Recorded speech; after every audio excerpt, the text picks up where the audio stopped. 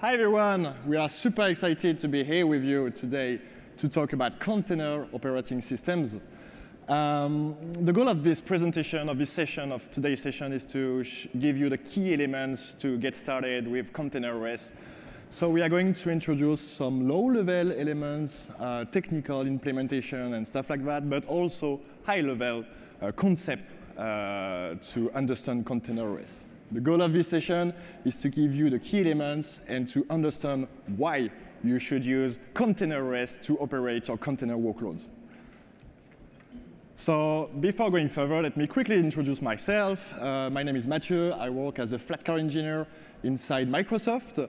Uh, I'm mainly involved in the test automation of Flatcar. I'm involved on feature development and transversal topics like, for example, cluster API or upstream contributions to other projects in the Linux ecosystems. And outside of work, I co-founded the SRE France Association. So with my friend, we're here to organize DevOps and SRE events in France, meetups, and also bigger events like the SRE Summer Camp, which is a two-day event where we organize uh, talks and stuff like that around DevOps topics. And what about you, Timothée? Hey, thanks, Mathieu, for the introduction. So I'm Timothée Ravier, and I'm currently working as a CoreOS engineer at Red Hat. So I work on Fedora CoreOS and Red Hat CoreOS mainly. Uh, and then on the side, in the community, I work uh, a lot in the Fedora community, uh, especially on the Fedora Atomic desktops. We just went through rebranding. We were used to call Fedora Silverblue, Fedora Kino and all of those variants, and now we call them all the Fedora Atomic desktops. Uh, and I also uh, do some work on the KDE side, KDE developer, working on Discover and other applications.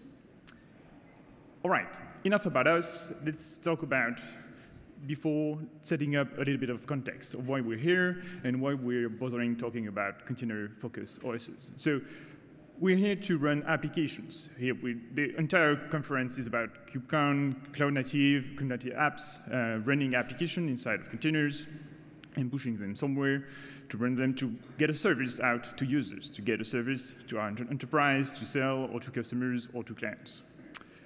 And so those applications, we now we run them mostly on containers, and we need the platforms to run them to deploy our containers, to make sure they are okay, to make sure they run well, to monitor them, to uh, ensure security, all those things.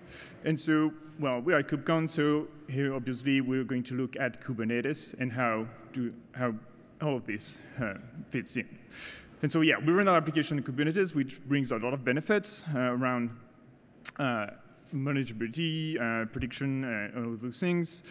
And for most people, that's just fine. You get uh, Kubernetes clusters from your cloud provider, you ask for a cluster, it gets auto-provisioned, it gets auto-set up, and you start pushing out containers, applications, services, uh, all things, and you stop there. What we're going to do in this presentation is to look underneath Kubernetes and what's uh, making Kubernetes shine, what the operating system uh, that makes uh, Kubernetes work well. And so here we're going to look at Flatcar Container Linux and Fedora CoreOS, which are two container-focused operating systems, uh, which are great fit for Kubernetes deployments. So of course, the the infrastructure here, our layer, doesn't stop here. You're always going to run that on cloud platform, on your private cloud, on your data center. And so usually you want to have those operating support all of those platforms and also support different architectures, especially AMD 64, which is like the classic one, of course, and now the uh, AArch64 one, which is getting more and more popular.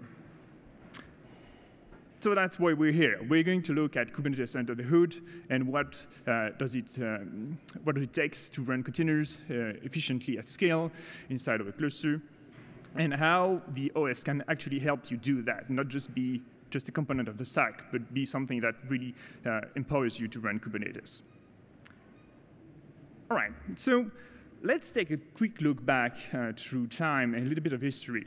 Uh, here, it's about 10 years ago, a little bit more than 10 years ago, we got the first release of Docker, which started this whole thing in a sense, it, which really started uh, the, the thing around containers and the popularity around containers and how we ship them, how we deploy images and all those things, how we deploy applications inside of containers. And this happened around March uh, 2013. A little bit, a little some months after, a little bit while after, uh, the, we got the first release of, at the time, named CoreOS, uh, the CoreOS operating system, the first container-focused operating system, which also introduced etcd, uh, notably, and used Docker by default. A few months later, again, uh, we got another uh, entry, another entrant in the field, uh, Fedora uh, Atomic Host, which were uh, the Fedora variant of having a container-focused operating system, which also came with Docker, and at the time it came with Docker with a project called geard, which was kind of like a mix between having uh, containerd or uh, CRI-O or something like that, like a component that would help you create manage containers at scale. And then all of this had happened, but we didn't even have Kubernetes yet. Kubernetes happened only at the end uh, of uh, 2014, in September 2014, and that's where our journey starts. Along the, along, the, along the ride, two major events happened. The first one is that uh, in January 2018, Red Hat acquired Container Linux, the CoreOS company, and also the Container Linux projects. And a few months later, the Kinvolk organization uh, started the Flatcar Container Linux projects. So yeah, that's about the history of our two projects and why uh, we're here and uh, why we're here talking about container-focused services. But I've been thinking that a, while, a lot of times already, what is actually a container-focused OS? Okay, thanks a lot for this great uh, historical lesson. Uh, so yeah, we kept using the word container OS, but what is it uh, actually? So it's an operating system. But in the opposite of day-to-day's operating system, for example, Ubuntu or Debian, um, container OS are designed to run containers. That's it, nothing more. So everything, yes, you can, thank you. Everything inside the operating system is designed to run containers. So you have the container runtimes already available in the system out of the box. Um, you have the kernel, the right kernel modules, the right kernel options to run containers in a safe way. Uh, so yeah, you just want to run containers, that's it. It can be single containers, it can be bigger workloads, for example, with Kubernetes. Um, container OS benefits of the automated updates feature, which means once you've deployed a container OS, you just want to forget about it. You just want to be able to forget about it in terms of, uh, of updates. Uh, in the opposite of the general purpose distribution, you, where you need to uh, do the actual upgrade, eh, with Container OS, it's up to the, the release itself to push uh, the new release into the system. So like so you can just forget about it and every two weeks, every month you get the uh, new update of the container OS. So it's really nice in terms of security and in terms of technical depth. And finally, the last main concept of container OS is the immutability. So with both systems, the idea is to get some nice feature. For example, we can see on the next slide uh, the ability to have slash USR in read-only. Yes, thank you. So for example, if you SSH into a, a, a container OS, you can't write anything into slash USR. So you can write something on Ubuntu, for example, but on container OS, you can't write anything into slash USR, not even as a super user. So that's one of the main features of immutability. And why this? Uh, basically, all the all the system is uh, image-based. And this image is the slash USR. So the binaries, the libraries, the configuration, the configuration files from the, from the maintainers team are shipped via the slash USR uh, partition. So with this, uh, yeah, we ensure the immutability of the system, and you can be quite sure that your system has not been modified bet between the release servers and the actual deployment of the instance. Now the question is, how can I provision the system? How can I uh, provision the immutable? So with Container OS, we're using a pretty cool software which is called Ignition. So you certainly heard about Ansible to provision system. You heard about Cloud Init. Ignition is another one. And what is the main feature of Ignition? First, it runs from the init RAM file system, really early during the boot of the system. This is quite handy if you want to do uh, some low-level operation, for example, partitioning the disk, or in injecting or removing kernel command line parameters, you can do, do this easily uh, with Ignition from the initram file system. In the opposite of Cloud Init, uh, Ignition runs only at the first boot. So once your instance has been provisioned and successfully provisioned, uh, Ignition won't run anymore. So for example, with Cloud Init, you need to put some condition. Is it a first boot? Yes, no, do something, do something else in, in case if it's, a, it's not a first boot. So with Ignition, you don't have to think about this. It only applies once at the first boot. And if there is an issue during the provisioning of the instance, for example, if you want to write a file or get a file uh, from a remote location and you can't get access to these files for whatever reason, the, the provisioning will just fail and your instance will turn into an emergency shell. So it's quite counterintuitive at the beginning, but uh, once you get used to, it's pretty convenient because you know that once your instance is up and running, it means the provisioning has been done perfectly.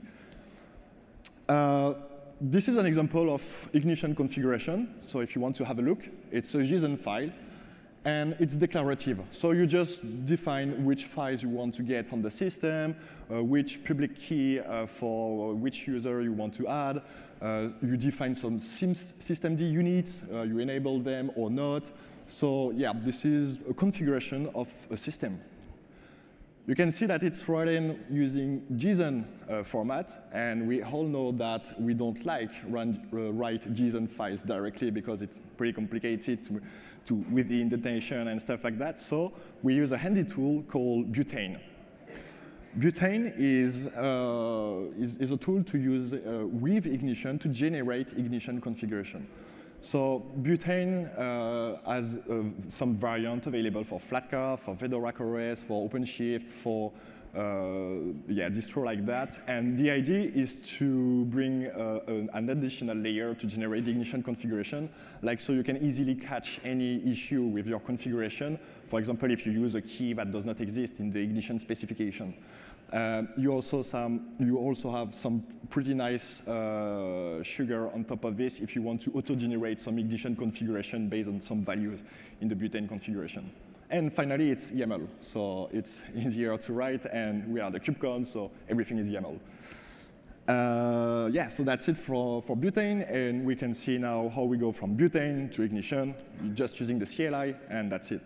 So we have the butane uh, configuration that is being transpiled to JSON configuration file. So it's not only converting YAML to JSON, as I said, there is a few other elements that are handled. For example, the content of my etc chrony.conf file uh, has been uh, converted to uh, URL encoded format for easier uh, if you have some character to escape or stuff like that. Okay, so now I have my ignition configuration. What am I supposed to do with this? I want my, my container OS to be able to consume this configuration. Uh, so here uh, we, we do support with Ignition a couple of uh, cloud providers, well-known cloud providers, for example, Azure, AWS, OpenStack, Scaleway recently, um, but also VMware, for example. So once you have your Ignition configuration, you are just going to upload this configuration on the cloud provider using the instance metadata service, IMDS. So it's the same thing as Cloud Init configuration, for example.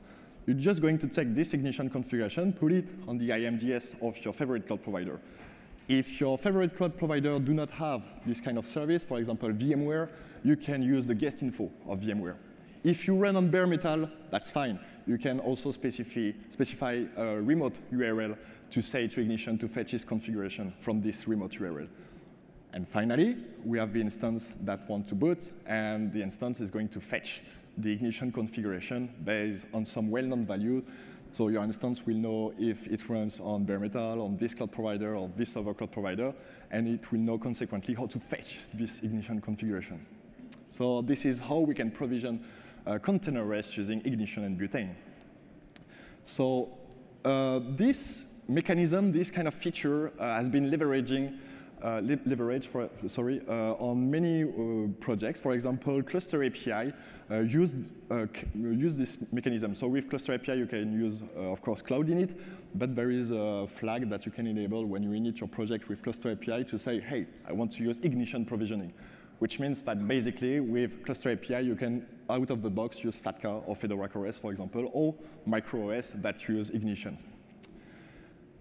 Um, to deploy Kubernetes cluster, you can also use Typhoon. Uh, Typhoon is a collection of Terraform modules that allows you to deploy Flatcar or Fedora CoreOS once again on many cloud providers. So it's just Terraform modules that use uh, butane and ignition configuration. And by the way, there is a Terraform provider for butane. So if you want to use infrastructure as code as usual with Terraform and everything, you can use the uh, butane provider, so which is quite convenient. And of course, we have OKD and OpenShift that do use uh, this kind of mechanism to provision the nodes.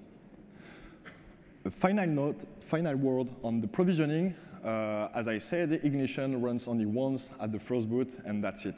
So if you want to change something into your ignition configuration, what we recommend to do is to scratch your node and start a new one, a fresh new one.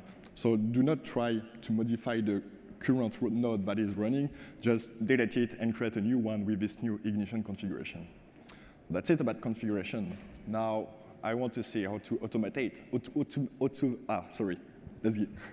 yeah, how to do automatic updates. Uh, this is like a kind of a major topic because when we say automatic updates for you know, focus OSs, usually the first question that come to mind are like making updates automatic. Isn't that risky? What if the happen the updates happen on Sunday morning when everybody is out from work, like everybody's enjoying their weekends, or what if it happened at 6 a.m. or um, as what if there's a bug in the new version that is breaking everything on my cluster um, and all of the things like how do I control automatic updates essentially it's the it's kind of like the, the big question around that and the idea is that first, for automatic updates, you need them to be reliable. So you need them to be consistent, always working, and the, the, main idea, the main principle behind that is that they are atomic on those systems. And so they are either applied or not applied. You don't get enough updated system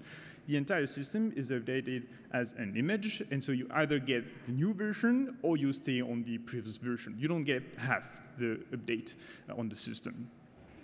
And that makes them reliable. So you know that when you're going to update a system, you're going to get the new one or, or stay on the current one, and that, that creates a lot of, lot of interesting properties.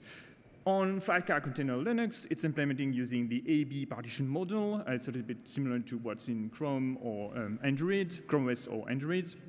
You've got two partitions, and you update the partition that you're not using, and then you reboot to use the new version. On Fedora CoreOS, it's a similar ID, except of using partition, we have a single file system, and we use OSTree to deduplicate the files of each version uh, to, to save a little bit on disk space the main benefits of this mechanism is that it makes updates less risky. The, the, main thing is that you always have at least two versions of the system installed at the same time on a node. So when you update and you have an issue, I don't know, there's a bug in RunC, hopefully that doesn't happen that often, but sometimes it does, or there's a bug in another component of the stack, and well, you still have the previous versions. You can, you can immediately roll back to the previous version and get your Kubernetes cluster, your systems running uh, straight away, and then take the time to debug issues. So you don't have to debug things in production right away because you know that you can roll back and just cause a reboot. This also limits the risk when testing fixes. So if you get a new version, you got a new coming version of the system, potentially adding a feature that you like or fixing a bug that you really want, you can give it a try and you know that if something breaks really bad, you can always go back to the previous version. So how do we make that happen across the stack? Well, the idea is that we also make this safe because we are creating channels. So we're creating update channels for nodes to get updates at a different pace. The idea is that the system itself, there's, there's always going to be updates. Like, we're not done with updating systems. We're not done with fixing bugs. Uh, if you know how to fix things, uh, call me. Uh, but the idea is that there's always going to be the next update, and so we need to prepare for that. And so we're creating channels so that you can prepare and see things come in advance. So the idea is that we have the alpha, or we call it next, depending on the projects, or the beta testing channel and the stable channel family. And the changes flow through those channels uh, through time. So all the new changes, the new features, they get into the alpha channel first, and that's where um, you get yeah, new bugs, new, new, new bugs, sorry, new bug fixes, new uh, features, and you get them pretty soon. Once they've been baked in, once we're like confident that the new feature is good enough, the bug fix actually fixed the issue, we promote the content to the beta channel. So a few weeks later, if you're on the beta channel, you would get the upcoming the content from the alpha channel that has been tested uh, beforehand. And then we do that again. We try, we make sure that everything works great. We make sure that uh, nobody found any major problems. And if a few weeks later, again, we don't have anything major to report on this on, from the beta channel, then we promote again the content into the stable one so that everybody gets it now into the stable channel. So what this lets you do is that gives you time. That gives you time to, things, see, to see things coming. So you can run a little bit of alpha, some beta, and some stable on a cluster, and see things, see changes progress uh, on, on the systems, on your cluster, and see how that reflects, how that works. So the ideal cluster that we would we could describe that that uh, is to run a little bit of alpha. So we'd say you would run 1% of your node running on alpha to make sure that you see problems as early as possible. But at the same time, if you only have one node, normally that, and if this one goes bad, that wouldn't break everything on your cluster. So that's okay to be a little bit risky on this front. Then you would run like 5% of the node on your clusters on the beta channel. The beta channel already should be pretty safe uh, because it's been running for a while in the alpha one. And so, uh, yeah, it should be much safer to run a larger set of node, but still, you wanna, don't want to take risks, so you run about 5% of your node on the beta one. And then finally, you run the rest of the cluster on the stable channel, the one that shouldn't have any major bug at all, uh, that had been proof tested from being going through these two previous channels. So yeah, this is like the major way that automatic updates are made safe uh, because it gives us and you time to react to train, to react to change, and to make sure that issues get reported and fixed usually before they even land into the beta channel, ideally. So what happens during updates? So, all right, we've got safe, reliable updates. You've got time to react to them.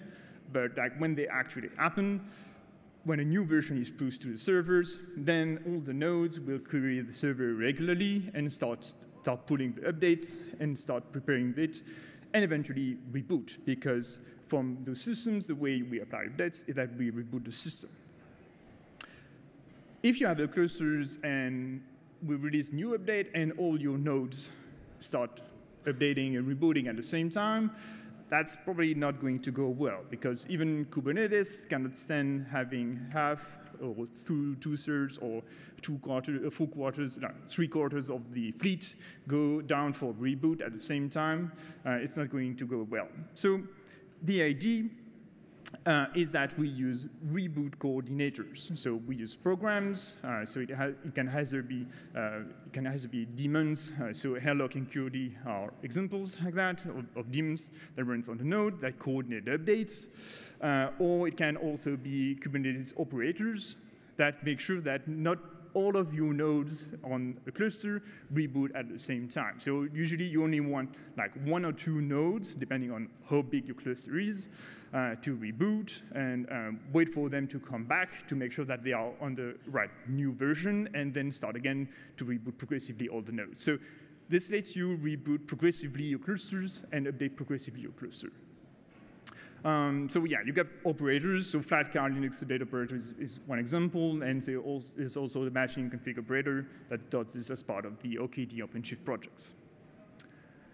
You don't strictly need, you also don't strictly need Kubernetes to do that. So you've got support in Locksmith and Linkerd, both daemons on each project, to do those kinds of coordination. So whether or not you have the Kubernetes clusters, you can do those things the major feature that is part of those daemons is that they also support what we call reboot windows. So that you can say, for example, I don't ever want reboots to happen on weekends because on weekends I don't want to call folks. I want to be, I want to have reboots happen on my cluster only during work hours, during the day, uh, so that everybody is here in front of the computer and can react if there's an issue. All right, so we said container-focused OS. What does it mean to be container-focused? So everything inside container OS run as container, as we said. So the idea is to keep this philosophy in mind when we provide new package inside the operating system. The more packages you ship, the more vulnerabilities you ship. So that's why we try to keep only the bare minimum into the operating system uh, to run containers. So if you want to get Firefox or whatever on Flatcar or Fedora CoreOS, there is a big chance that it doesn't get accepted. So most of the time, yeah, we try to run everything uh, as containers. So out of the box, there is uh, Docker Containerd runtimes available and also Podman on Fedora CoreOS. So we talk about immutability, we talk about uh, provisioning the system and automatic updates, but now how can I extend the system? Indeed, there are some edge cases where running things as container is not enough. Uh, for example, if you want to try a new container runtime, if you want to get back to an old container runtime because you didn't get the time to up upgrade your workload, uh, this is this kind of specific use case where you can't run things as containers. Or if you need some specific modules or stuff like that being loaded into the system. So based on this, uh, you can't use containers. So what, how can I use uh, the immutability features to extend the system? There is no package manager, slash USR is in read-only, so what can I do? For example, on Flatcar, we decided to take the systemd-sysext approach. So systemd-sysext is a brand new feature from systemd uh, project. The idea is to mount as an overlay on slash USR and slash OPT uh, an image. An image can be a directory, can be a SquashFS image, can be yeah, anything that's compatible with systemd-sysext. And here you can see how to install Podman on Flatcar. So uh, Podman is not available on Flatcar, but uses systemd-sysext, you can use Podman. And one nice thing to see is that we are using also Containerd and Docker shipped as systemd-sysext into Flatcar. So you can using butane provisioning, deactivate Docker, for example, if you just want to use Containerd. What about uh, Fedora CoreOS?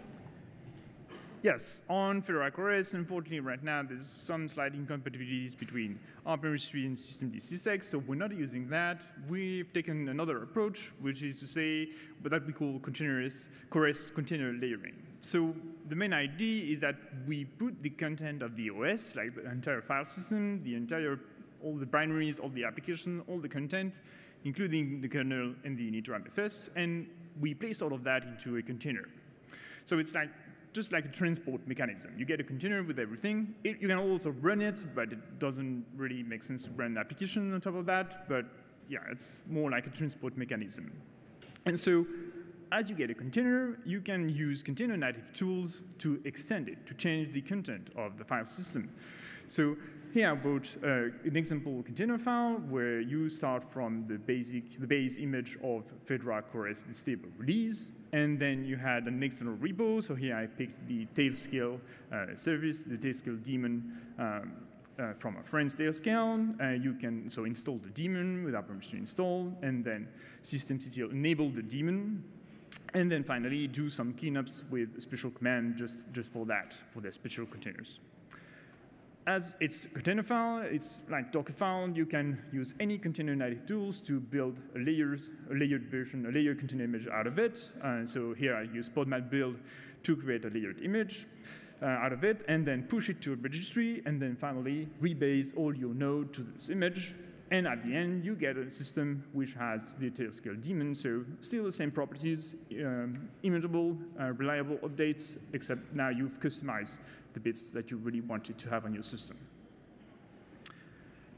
So the landscape of container-focused OS is not just our two projects. There are other projects uh, here that we haven't talked about, but you can take a look at them. They also focus on kind of the same use case. They have also similar properties uh, with slight differences for each project. Some are available only on some cloud providers. Some are available everywhere. It kind of depends. Some are more minimal than others. Uh, there's plenty of options uh, for you. Uh, but yeah, here we took the focus on the our two community projects, uh, Flatcar, Linux, and Fedora CoreOS. Uh, we share a lot of the components, uh, we share a lot of the history, a lot of the legacy, and so um, yeah, that's that's what the the goal uh, of all of this. All right, and uh, thank you very much for attending and listening to us. And here's like the famous debug forms and everything.